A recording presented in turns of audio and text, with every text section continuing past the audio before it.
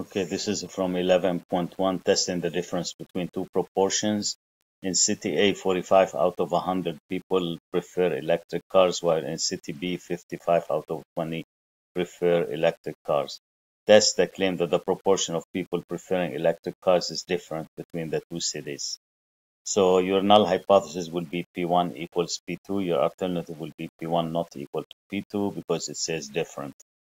Okay, I broke this, the information down into city A, city B. You need N, the sample size, and then X, which is the number of successes. So we have two N's and two X's. N1 is 100, X1 is 45, N2 is 120, and X2 is 55.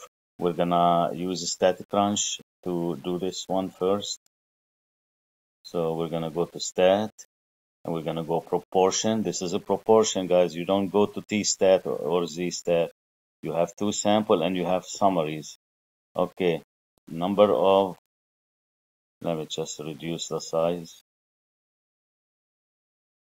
of this one so you can see the whole screen. Okay, number of successes is 45.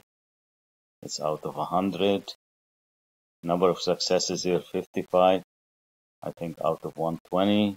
And we need to select not equal, which is already selected. And this is all you need. Just hit compute. You don't touch the zero there. Compute. And what do we have here? The test statistic is so the test statistic is negative 0.12 the p-value is a huge, guys, 0.9016, which is bigger than alpha. If p-value is bigger than alpha, you don't reject HO. And then you say that there is not enough evidence to support the claim that the two proportions are different. When you fail to reject HO and the claim is in H1, you cannot support the claim. So you say there is not enough evidence to support the claim. If you want to do this one using the calculator, you just go to stat and you go to tests and then scroll down to number six two proportions you test enter. So x1 here is 45 number of successes. Uh, n1 is 100 x2 is 55 and N2 is 120 and then we need P1 different from P2 enter.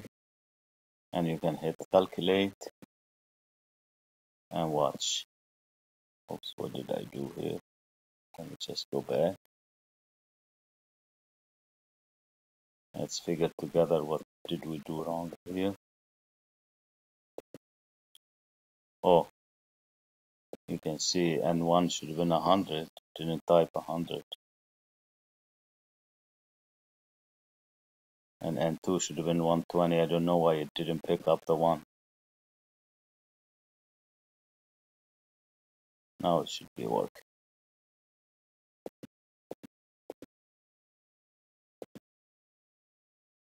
Okay, so Z is negative 0.12 and look at the p-value guys. It's 0.